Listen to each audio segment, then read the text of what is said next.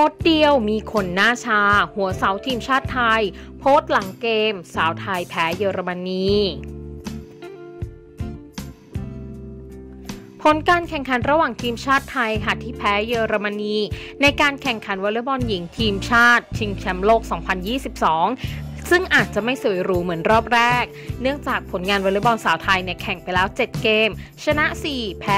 3ทำให้มีโอกาสเข้ารอบมีไม่มาก แต่ใช่ว่าจะไม่มีเลยนะคะ และแน่นอนว่าเมื่อได้รับความพ่ายแพ้ทำให้โลกออนไลน์ถึงกับหยิบยกเหตุการณ์นี้ขึ้นมาพูดคุยเป็นอย่างมากซึ่งโค้ชคีย์บอร์ดหลายคนค่ะได้ต่อว่าทั้งตัวนักกีฬาและสตาฟโค้ชที่ทำให้ผลการแข่งขันเป็นไปไม่ได้ดังใจ ล่าสุดค่ะคุณกฤษดาสมคะเนนักวอลเลย์บอลทีมชาติไทย ฝ่ายชายได้ออกมาโพสต์ Facebook หลังจบเกมดังกล่าวเอาไว้ว่า ขอฝากสมาคมไม่ต้องเปิดเรียนโค้ดหรอก ช่วยเปิดสมัครโค้ดโซเชียลดีกว่า แก้เกมเก่งทำไมไม่เล่นแบบนี้ทำไมไม่เปลี่ยนคนนี้ออกทำไมไม่ใช้คนนี้ทำไมทำไมทำไม ตลกตบปากเพี้ยๆนะ ซึ่งบอกเลยล่ะค่ะว่าหลังจากโพสต์นี้ได้ถูกโพสต์ออกไป มีคนหน้าชาหลายคนเลยล่ะค่ะ